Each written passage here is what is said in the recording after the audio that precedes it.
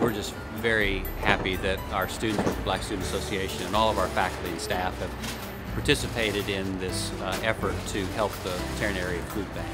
Uh, it's really important over the holidays especially, but all throughout the year uh, for our students faculty and staff to be engaged in the community.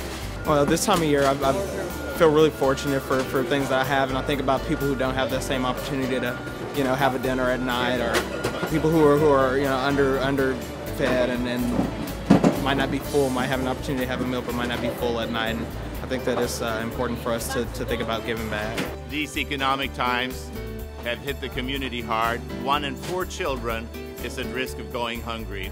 And I think it's absolutely fabulous when young people, college students, take the initiative to do something to address that issue. Uh, we're also delighted to uh, start making new friends at Wesleyan.